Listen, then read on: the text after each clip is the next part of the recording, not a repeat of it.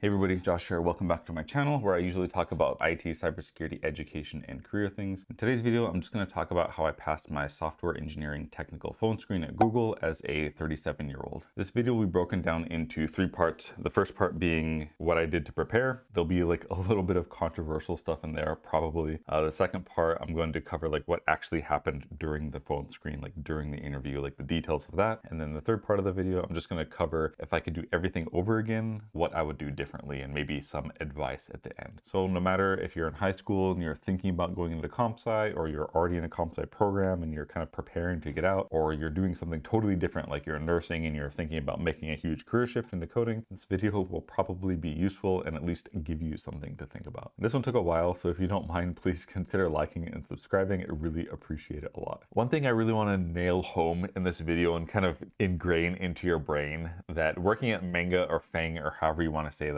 that's not something that's luck based, to be honest. There's there's luck involved with everything, just like there's luck involved with going to the supermarket and not getting hit with a car. But I, I would put like, you know, working at Fang and these companies in the same kind of realm as getting any other corporate job, to be honest. That is contrasted with like doing something like becoming an astronaut or like the next Taylor Swift. You can be like overly qualified and but there's still like the, a large luck component there where no matter how good you are, it's possible it will never never work out. You know, working at Google, working at Amazon or, or, Microsoft or any of those manga companies, that is like not, I wouldn't put that in like the luck realm. I put it in like I don't even put it in like the you have to be like super smart realm. You just have to understand like what the requirements are holistically, not just coding. And then you have to get really good at coding first and foremost in a methodical way, dry algorithms, readable code, all that, and then do all the other kind of soft skills that are required. It's totally feasible. If you're like a high schooler or something, you have no idea how to code, it's well within your reach, right? I'm like almost 40 years old, right? Doesn't matter. All it takes is time, effort, and having interest in it helps too. So getting right into it in a little bit of background. Traditionally, I work in IT operations and cybersecurity quite a bit. I decided I would get my comp sci degree and then try to go work as a software engineer. I have other videos about this, but I, I ended up getting a comp sci degree from WGU. It cost me $3,500 and it took two months from the time I enrolled to the time I finished with my comp sci degree. That sounds really crazy and it kind of is, but there was a lot of prep that went into it. Go ahead and check out this video if you're interested in that at all, or if you, you just want to get like an expensive computer science degree. So just bear that in mind. And Google's not the only place I interviewed at. I interviewed at Tenable, which is a security firm. I ended up getting a verbal offer from them as a software engineer. Um, I interviewed at Amazon. I did like a phone screen at Amazon, which consisted of a code review, and then I did the full loop at Amazon, which consisted of two coding questions. I was able to do both of those pretty pretty well. And then, of course, I interviewed at Google as well. Uh, I just did the technical phone screen portion at Google, which was one coding question, which I'll get into depth later. And if you're wondering, like, I don't work at Google, I work at Microsoft. I ended up accepting a position at Microsoft actually like as a vendor, as you can tell by this orange badge. And so, and I got really busy because like YouTube and like everything else. So I just kind of stopped the Google process.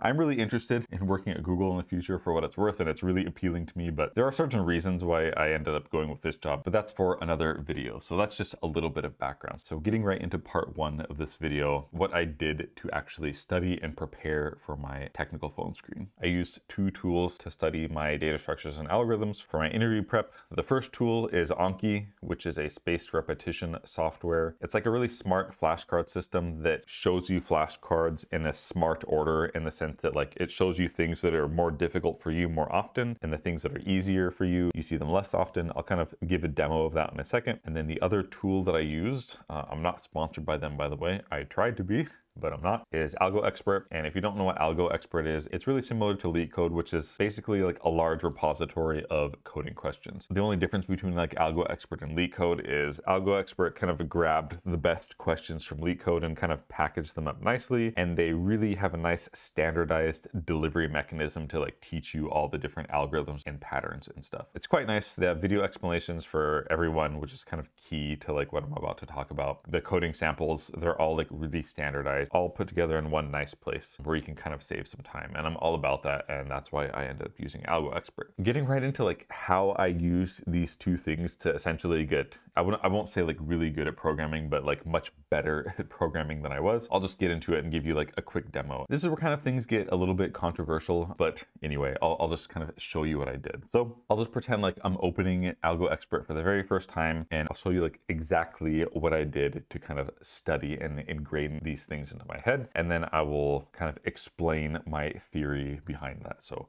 pretty much when you go to AlgoExpert, um, I'll, I'll talk about how far I got in this toward the end, but you open up Algo Expert and you can kind of group them in different ways by difficulty, by category, etc. So we'll just group by difficulty here and then you can see, you know, the easy coding questions, medium, hard, etc. So basically like what I would do is I'll just pretend like I'm doing this for the first time. I'll just open the first problem here, two number sum. And if it's the first time for me seeing a problem, I'll open up Anki and then say I have like a deck. It's like a flashcard deck. Um, I, have an, I have an AlgoExpert deck. So I would open this and then I would add a card to it, right? So I would say add, and I would just take the URL, for example. Um, I would just pay, I would just say like two number sum, and then I would just like paste the URL and I would just add the card like this. I won't put it back to it. I'll kind of explain this in a little bit. So I add it to the deck and then I come back to the problem. I read the problem and this is kind of where it gets controversial. I'll just read the prompt, look at the input and outputs, and then I will like think about it for a while and then I will try to solve it. But if I can't solve it in like the first five or 10 minutes, I won't spend like over 10 minutes trying to solve something. For me, this is kind of a waste of time and I'll get into that a little bit later. There's a lot of controversy about this, about how you need to like come to the conclusion like on your own and, and stuff. And I, I, suppose that's one way to deal with it, but I, I honestly don't think that's the best way. So I'll explain like what I did and then why I did it later. So assuming that I cannot solve it after like five minutes, max 10, at that point, I will they have a nice standardized way of explaining the algorithms and design patterns. So I'll try to watch this. Sometimes it gets to like 50% and I'm like, okay, I can solve it. But sometimes I can't. So I'll just like watch the whole thing through. And then after I watch it, I will kind of like go back to the prompt and I'll try to solve it again. If I still can't solve it after like five minutes, then I will go to the solution and I'll actually look at the solution that they coded up and I will look at this. I'll be cognizant of what is here. I won't just like blindly type it. So I'll look at this and then I'll type it here. I'll try to understand what I'm typing. And as soon as my copied implementation runs successfully, I'll kind of close everything out and go back to the prompt and then I'll try to solve it again without looking at anything. And I'll just keep doing this over and over again until, until I can solve it. Say, so for example, I try to code it up again and I failed to do it again. I'll go back to their solution. I'll look at the solution. I'll type it up. It runs. I will close their solution and I'll try to implement it again on my own. Obviously, you're going to accidentally memorize some syntax and like some code along the way. But more, more importantly than that, if you're cognizant and you're aware of like what you're typing and you try to understand it, the more times you implement some problem or some solution to a problem or a design pattern, like something magic will happen in your brain and you will definitely like get a better intuition for what you're doing. And rather than like spending like two, three, four, five hours trying to solve something, if you,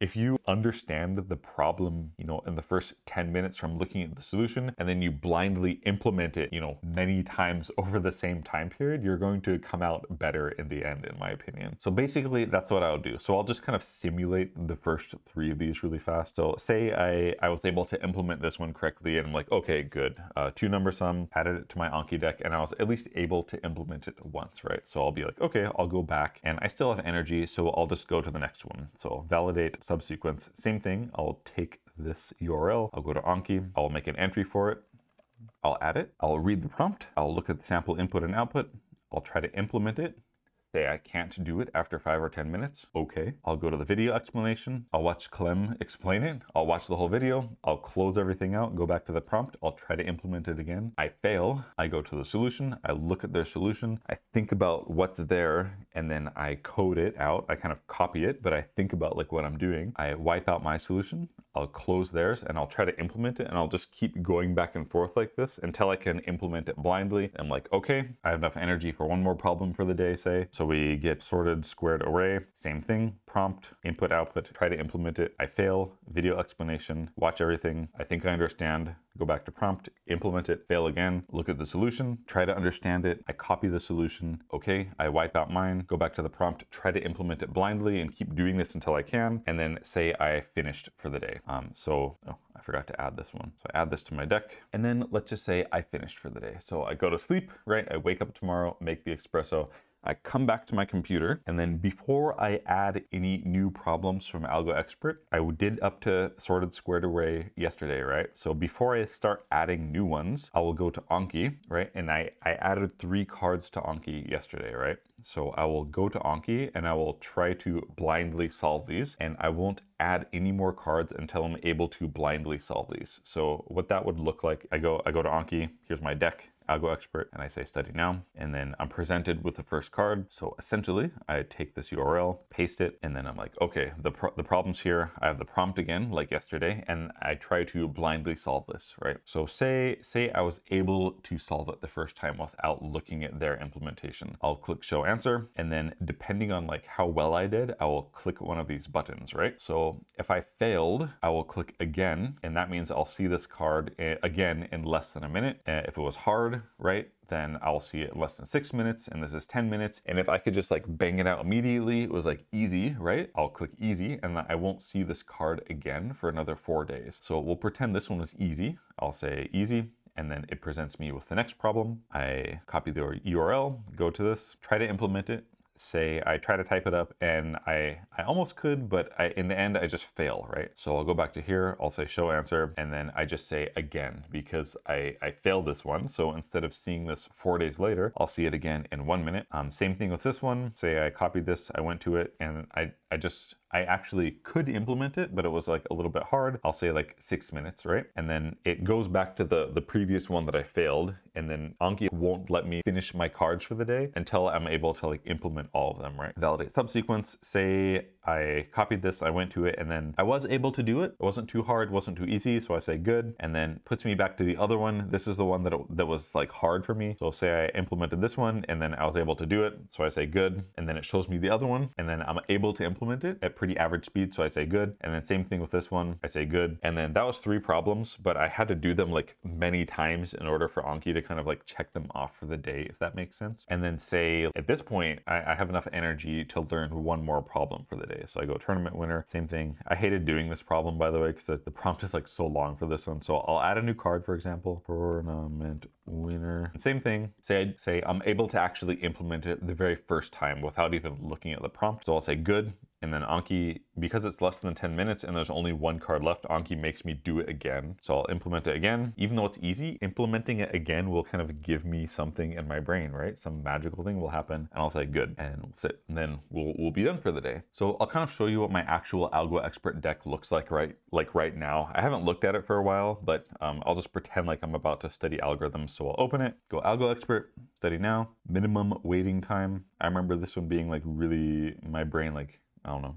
Anyway, minimum waiting time, say that I look at it, just say that I could implement it, implement it well. So I'll go to Anki, I'll say show answer, and you can kind of see how much the interval is spaced out. Like the more times you get something correct, these numbers get bigger and bigger and bigger. As you learn some pattern or some you learn how to do something, Anki kind of shows it to you less, so it kind of like makes room to show you more difficult things in closer intervals, if that makes sense. So basically, my approach for this, instead of doing like, you know, I did 300 LeetCode questions, I did maybe 50 to 60 LeetCode questions, only 50 to 60, I guess, algo expert questions. So I only did like maybe 60 questions max, but I did them like a lot of times each, like 20 plus times, some of them. And I make sure to do them, I can do them off the top of my head. And again, again, like I, I, I want to get into why I think this works. I'm going to give a really simple analogy. So let's forget about Google and forget about like tech and all of that for a second. And let's just imagine that you're trying to get a job at the most prestigious bakery in San Francisco, for example. So every day for two months, you cook a double decker round chocolate cake. Every day, double decker round chocolate cake. And you make like 60 or 70 of these cakes. And then after two months, you show up at your interview at the prestigious bakery and they're like, okay, we want you to make us us a triple decker square vanilla cake. And then for you, you're like, man, I've never made a square cake. I've never made a triple decker cake. I've never made a vanilla cake or even touched vanilla frosting in my life. But because you've baked so many double decker round chocolate cakes, it's not really difficult for you to make that conceptual leap and perform well and actually make the triple decker square vanilla cake. That's exactly how coding interviews work, except for the, you know, there's a few more design patterns in your coding instead of making cake, but it's the exact same thing. And for me, this this is why I was able to pass most of my interviews, to be honest. Obviously the Google phone screen, because that's kind of what I'm talking about in this video, but most of the time I was presented with something that I had never seen before. But because I did these like this small small set of problems like so many times, I have like really good intuition on how to make the conceptual leap to kind of do what's being asked of me, if that makes sense. I want to talk about how far I got with these and kind of show how many times I did, did each problem and talk about this a little bit, but I'll kind of save that for the end. For now, I'm just going to hop right into the second part of this video and talk about what happened during the actual interview. So basically, I, I was emailed with a phone number to call for the interview, as well as a link to click, um, which would be our interview kind of white space. It was just basically a, a Google Doc, as you might have heard. So I, I was in my car and I had my noise canceling headset and I had my laptop and everything. And um, I just called the number and a lady answered who was my interviewer. And then we just chatted for like a little bit. And then she was like okay can you open up the doc? And i was like all right. And then it was like a very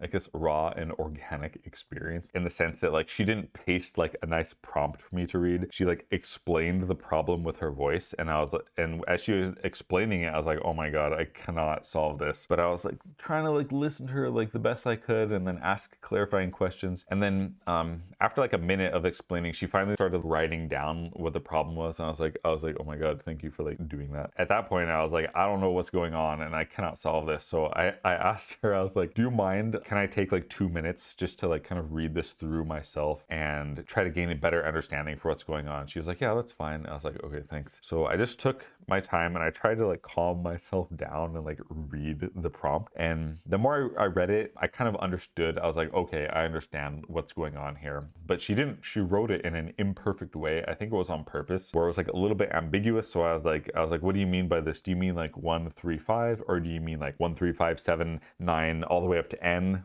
These kind of questions. She, and she was like, yeah, it's a little bit unclear. Let me fix it for you. So she kind of fixed the prompt. And then I was like, okay, at least I understand what's being asked. And I was like, okay, I think I can do this. But what she wrote down, it was actually like a, a dynamic programming problem. And I, I, had just started learning dynamic programming and I, I definitely didn't have an intuition for it. And I, I recognized immediately like there's no way I'm gonna get the optimal solution for this in 45 minutes or like you know 37 minutes or whatever however much time is left. It's just not gonna happen. So I I told her I was like I was like I'm reading this and I know there's a more elegant solution for it, but I, I don't think I'll be able to reach that in the time period. Like, do you mind if I just attempt to brute force this? And she was like, yeah, yeah, that's fine. There's no requirement for time complexity. I was like, okay, thank you. So before I started coding, I just, by the way, like everything I'm telling telling you now, I learned from Clem, from his Google interview advice. His channel doesn't need shilling, but he has great advice. So just like, you know, check out his channel. But anyway, before I actually started coding, I was like, I'm going to just explain everything to you to make sure I understand. And then I'm going to jump right into coding if that's okay. And then she's like, all right. So I just explained everything out. And then I was like, how does that sound to you? Does that sound like it makes sense? And she was like, yeah, that sounds good. Now it's like, okay, cool. Do you mind if I start coding? And then she was like, okay. So I just started coding it. Um, I tried to write out my functions first and kind of, you know, implement dry, like don't repeat yourself. And I tried to make the most long variables and function names that made the absolute most sense. Um, I was coding in Python, so the syntax is like already easy. So I tried to make it like look like you were reading English, right? I tried to make it look really good in that regard. But if you don't know this already, like once, if you don't practice, like once you get into an actual coding interview, your IQ drops by like half.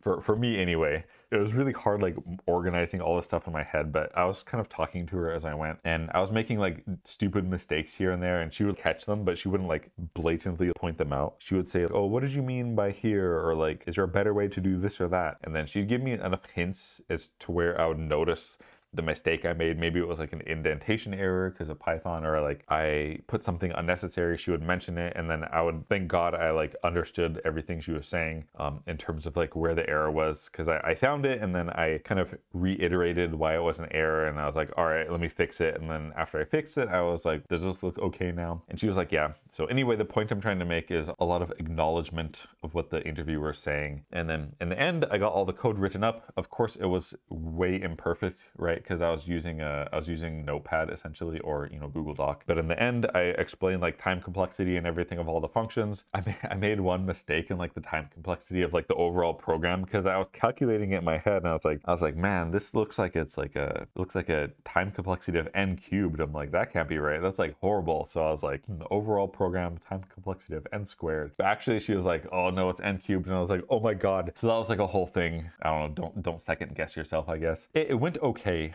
um, anyway. And I felt like pretty good. I wasn't sure if I passed or not because it was like a really imperfect experience. My communication was really good, but my I didn't do dynamic programming really at all before then. I just brute forced it right. I made an error in the time complexity and some other stuff, but it was a great experience. The interviewer was very nice. It was just a good experience, and I, I was like, thank you so much. Um, I, I complimented her because she, she, was really good at like catching my errors. I was like legit impressed by that. But anyway, I was like, thanks, uh, good experience, and then see you later. And then we just like ended the call. Uh, I was like, I had no idea if I passed right, but uh, about a week went by, and the recruiter called me, and she's like, so what did you think of the interview? And like, you know, when they when they call and they say this, it means you passed. Otherwise, they're not gonna call and they're not gonna say stuff like this. They're just gonna be like, sorry, and like an email. But anyway, she said we she just we just went over it and like the parts I did well and the parts I messed up. And then she's like okay you passed and you're going on to the next part. But um, at this point I kind of like already decided to start working at Microsoft. There's a, there's a reason why I did this. Again I'm gonna save that for another vi video but that's pretty much what happened in the interview.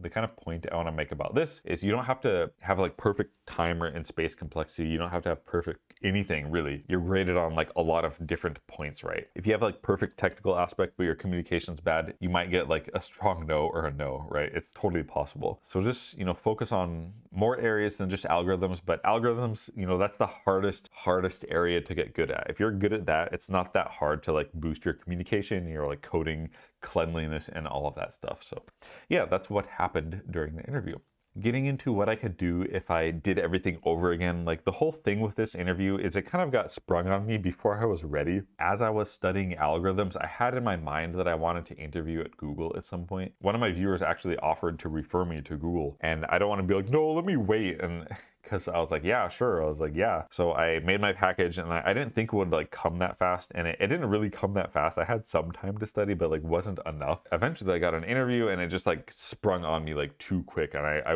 was not ready for it, right? So the only thing that I could, that I would do over about my study habits is give myself more time or, or spend more time. But I remember in one of Clem's videos, he's like, don't wait, just like do it fast. Just like apply as soon as you can, interview, you know, take your time if you need to study for your interview, but like do everything like as fast as you can. So I try to like take that advice. Actually, it ended up working pretty well, um, although I was quite uncomfortable with it. So I want to kind of get into how far I got in Algo Expert and everything. So let me just do that real quick. So this is, this is Algo Expert organized by difficulty. So basically, um, I was able to do all of the easy problems multiple times, and I was able to do about half. This will kind of give you an idea of like how good this platform is and like maybe an ability to gauge my study habits with just looking at the solution quickly and then implementing it like tens and tens of times, right?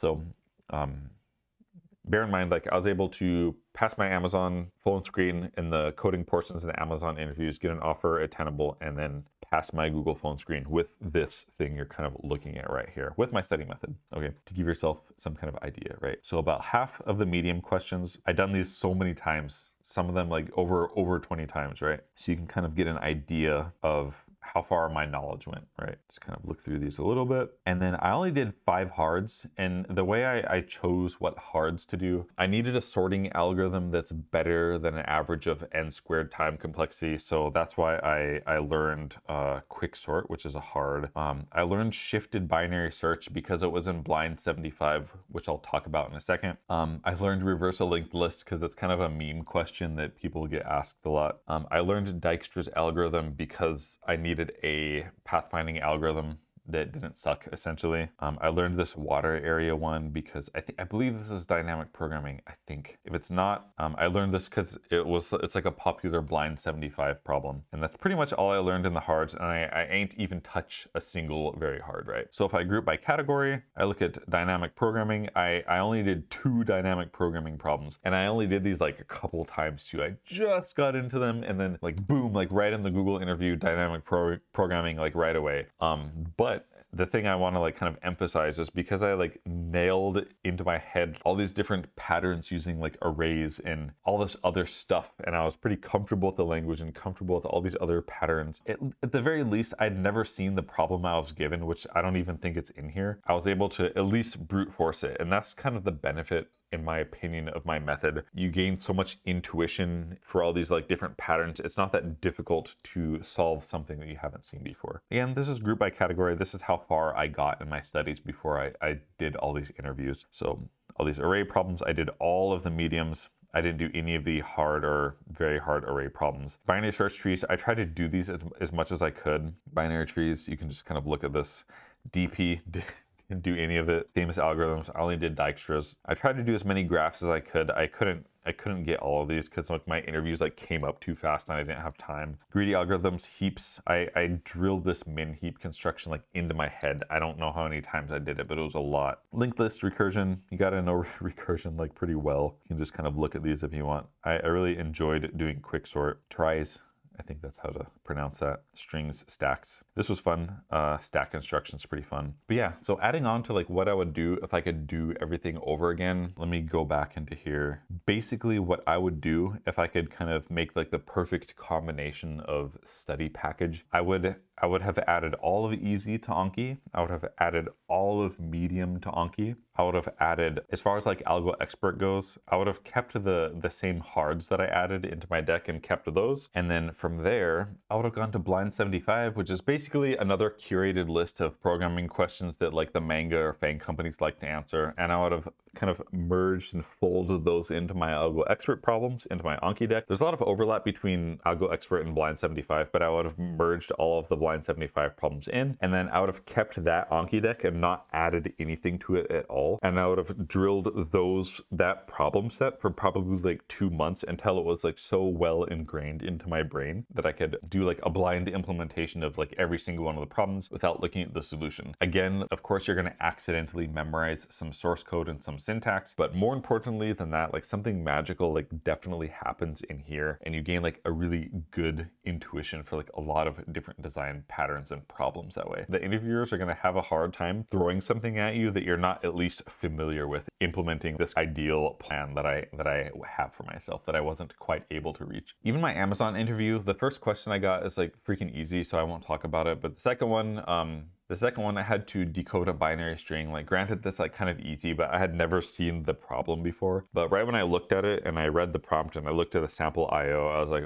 I was like, this is so easy. I didn't even have to spend time thinking about it. I just was like, oh, okay, I'll just, do you mind if I explain it to you and then code it after that? And he's like, yeah, and it was, it was quite easy. And it was easy because I had done like so many kind of similar problems before and I had like built such an intuition around it. It was so, it's like so incredible. And I feel like it's kind of, it's so, sounds probably dumb if you don't know what I'm talking about, but it's like kind of magical in the sense you're like, wow, why do I know how to do this? Like that kind of feeling. If you do the same thing like over and over and over again. And there's only so many patterns, right, that interviewers are going to throw you. So if you practice those patterns, instead of doing like a thousand different LeetCode problems, if you just do the same problem like 50 times in like a set of like, you know, 75 problems or something like this, you're gonna be in like really good shape if you can bang them out off the top of your head. So one more thing I wanna show really quick here. This is my, um, these are the stats for my Algo Expert study within Anki. This is Anki. So you can kind of like see, you know, these are randomly like the days that I studied and this is my answers for those days. So like green,